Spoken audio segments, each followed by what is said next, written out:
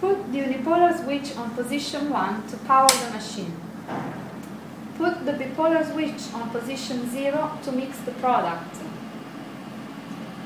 Put the bipolar switch on position 1 to start producing soft ice cream. Set the temperature to the display on the switchboard.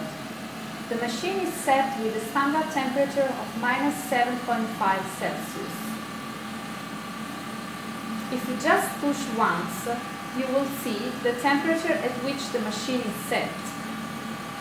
When the product is ready, please check the density of the product.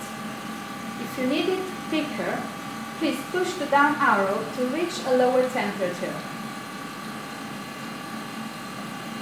Put the bipolar switch on position 2 for night function.